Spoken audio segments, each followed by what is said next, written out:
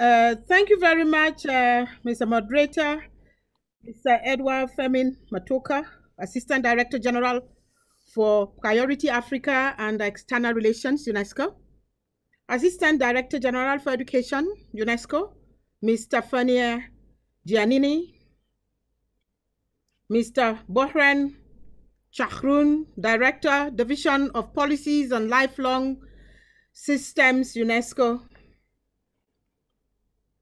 Honorable colleague ministers from respective countries, ladies and gentlemen, I send you very warm greetings from the Gambia, the smiling coast of West Africa. The occasion we're witnessing today deserves a critical review by our various education teams and organizations.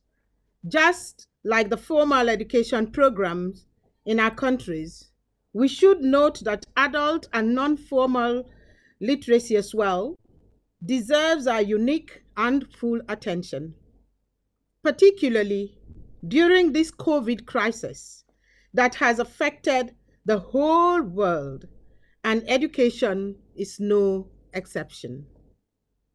I therefore wish to commend UNESCO and UNESCO Institute for Lifelong Learning for organizing this important meeting and inviting all of us to it.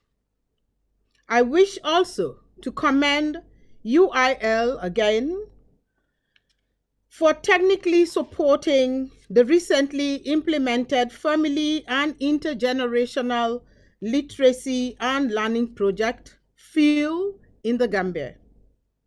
This project was funded by the German Foreign Office, and to them we register our profound thanks and gratitude.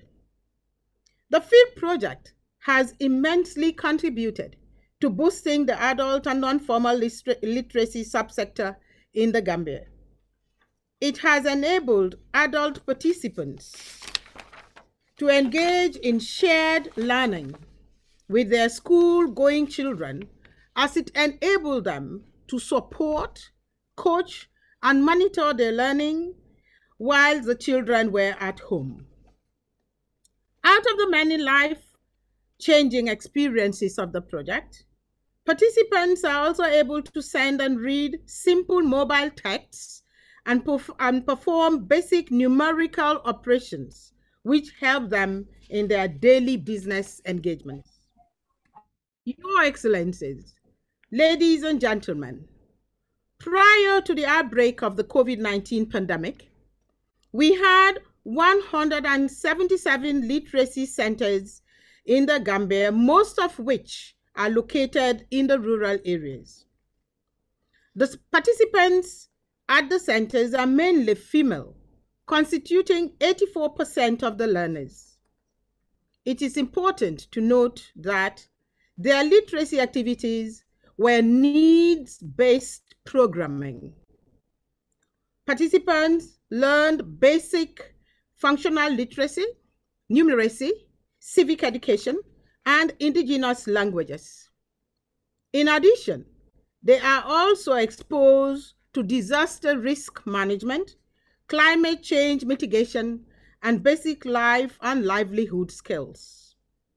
The major aims of these programs are meant to empower the participants and give them opportunities for self-employability. My ministry has started to engage participants to help build a more resilient system that will ensure a strengthened environment for literacy activities for the continuity of learning. Undoubtedly, the COVID pandemic has created a need for the opening of new centers as the pandemic situation has impacted dropout rates from formal education. The Ministry of Basic and Secondary Education is determined to work with partners to make sure that those who had left school are not left behind. But this bid will not be without regulating some of the perennial challenges that adult and non-formal education unit continues to grapple with, such as low capacity and inadequacy of material resources. As far as the non-formal education landscape is concerned, the following also have been recurring challenges for the providers.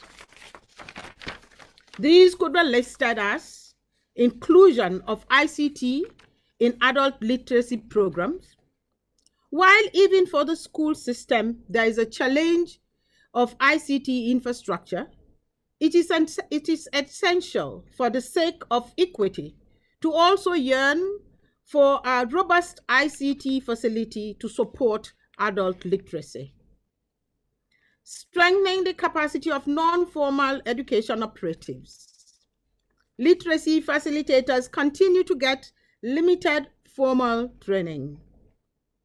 There is also limited per, uh, permanent structures and furniture for adult literacy centers.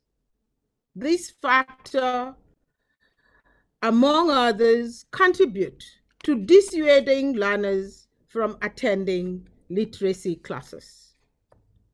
Ladies and gentlemen, as we speak, the need for non-formal education is greater now than ever before because of the surge that COVID has created on all education system worldwide. And my country, the Gambia, is no exception.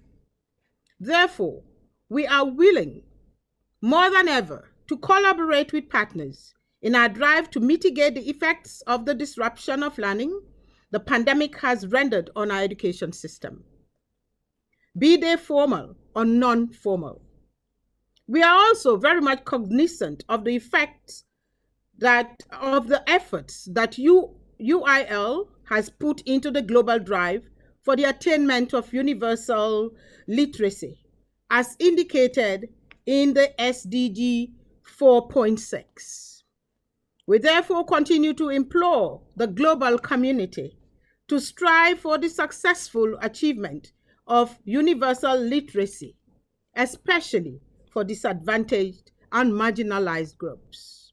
On that note, ladies and gentlemen, I want to thank you for your very kind attention while it gives me the pleasure to participate in this very important annual general meeting. Thank you very much.